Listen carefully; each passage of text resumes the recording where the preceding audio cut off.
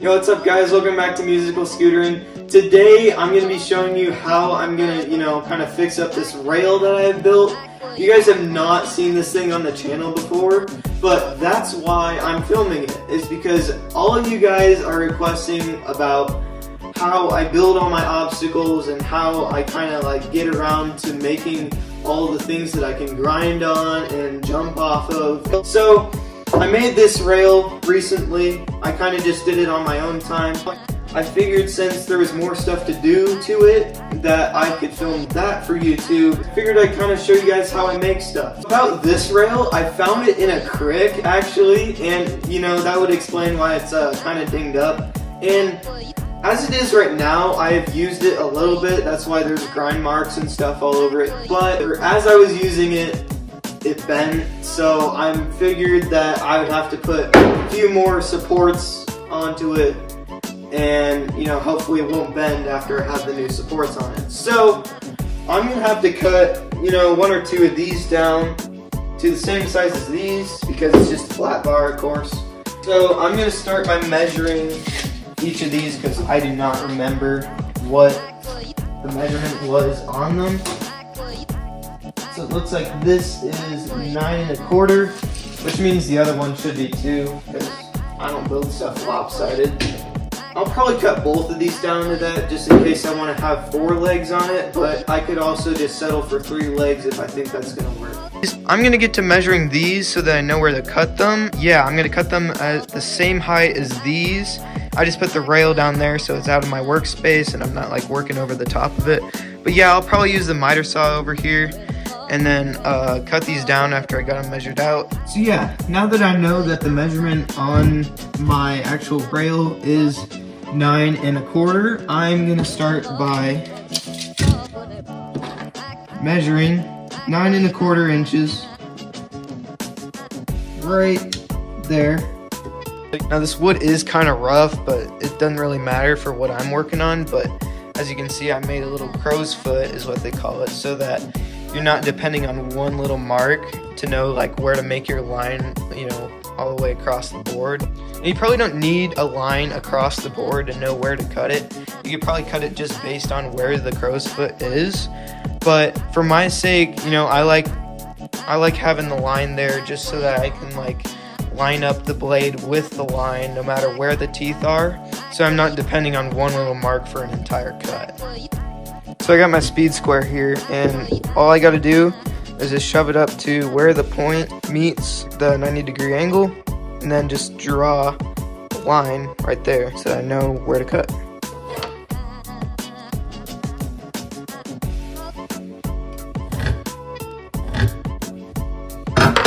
Just like that and then I'll check to see if my mark is right and it is. And then I gotta do the same thing over here. And since this is already kind of like cut out for, um, as you can see here, the base starts uh, a little thicker and then the top gets thinner so that it's not like interfering with the bar. I'm doing the same thing over here. I'm using these little cutouts to my advantage. So I'm measuring nine and a quarter from this end over to here and then same thing on this one. I already did that one. Okay, first of all, I have a paper bag back here so that all the sawdust gets caught in it and I don't have to clean everything up. So as you can see, my line's right there and my blade is gonna come down on the right side of my line since I wanna use this part of the wood and the width of the blade is gonna cut off on this side of the wood. One last thing would be to have your cord come under your machine so it doesn't get in the way of your blade as you're cutting something. You cut your cord right in half. Safety glasses acquired. I got my wood tied up against the fence so that it doesn't move around while I'm trying to cut. And I got my blade on the waste side of what I'm cutting. Here we go.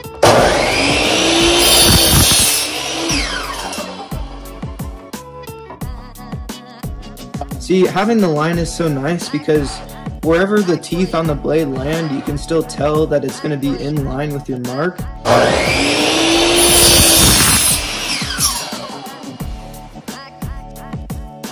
So here I have both of my pieces cut to the same height. Perfect. And now I can put them onto my rail after I get these kind of sanded down a little more. I'll probably do that at school. If you're wondering how the bag method worked, uh, I'm just gonna pull the saw out of the way. You got all your sawdust already in the bag for you. So I guess there was a little bit of spill out. I mean, that's pretty easy to clean up. It's just like a little bit of, I'd say that worked pretty good. Sawdust is already in the bag.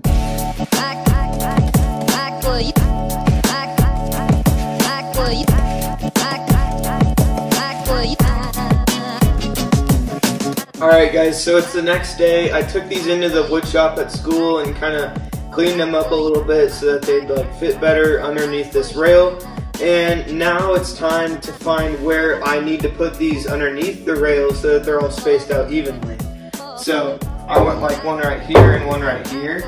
So I'm gonna have to find equal distance between all four of these. To evenly space out the legs for this rail, I'm thinking that I should measure from here to here and then just divide that length by three because what I'm doing with these legs is I'm basically dividing this rail into three sections. So I want each section to be an equal length.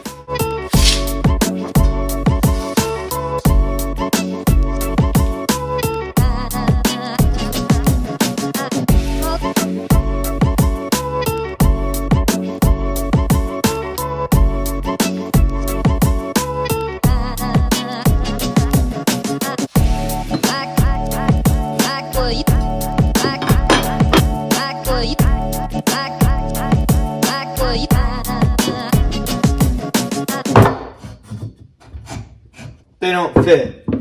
I think there's a slight bend in the rail, just a little bit like this. And I know that because they're the exact same size as the legs that are already on the rail. What I'm actually gonna do is jack the rail up from the middle until I can get these to slide underneath, and then I'll know exactly where they have to be to screw them in from the bottom of the base.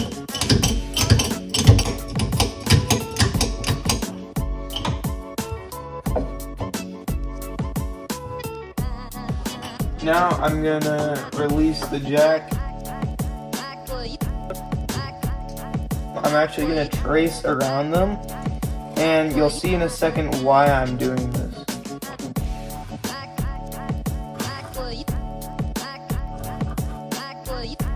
Here's the drill bit that I'm to use, and then here's the screw that I'm to use. So if I put that behind there, you can still kind of see that the screw is a little bit bigger in terms of the grooves.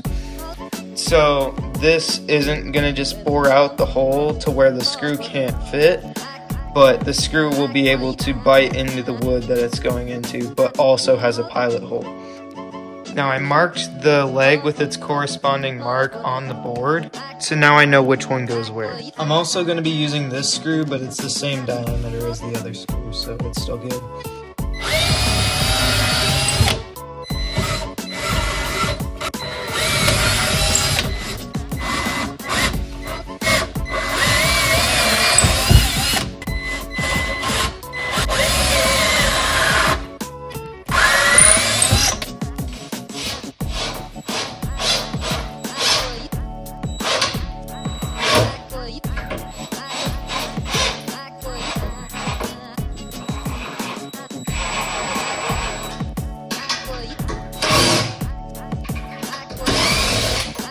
There's my marks for where I'm gonna drill my pilot holes on this board.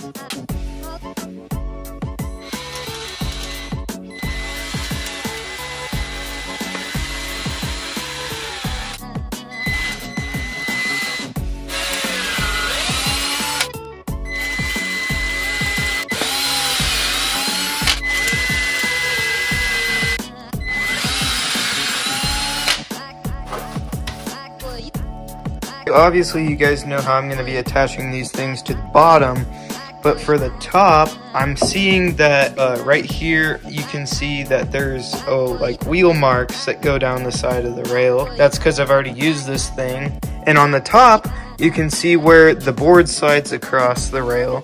So in between those two marks is a surface that doesn't even get touched by your scooter. So I'm thinking I could drill a hole right here in between the two marks and I wouldn't hit it with my wheel or my deck when I'm doing board slides or 50-50s. So I'm gonna use this center punch.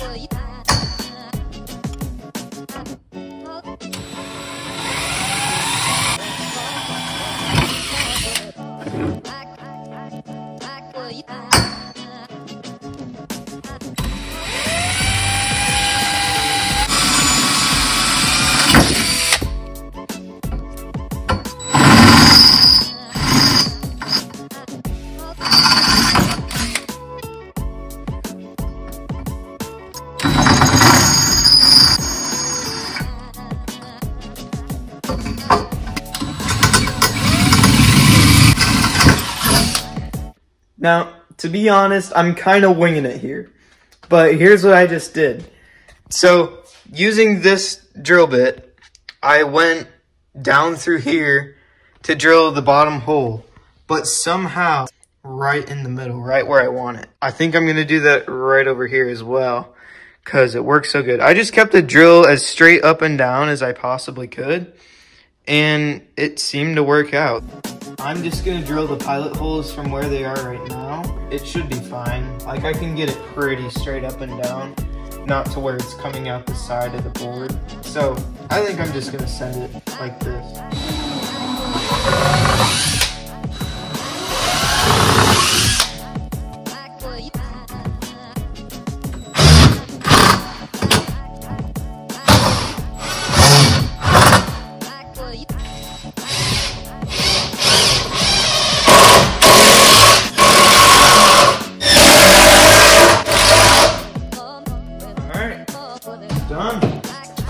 Guys, it's done. Look at that.